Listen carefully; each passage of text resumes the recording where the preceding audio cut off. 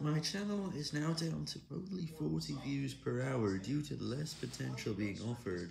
This is also resulting in less people able to click the links.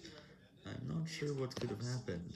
It could just be normal because my old videos don't do much, but the new videos slow down the fastest and get the most views, which means it might not get many views in the end.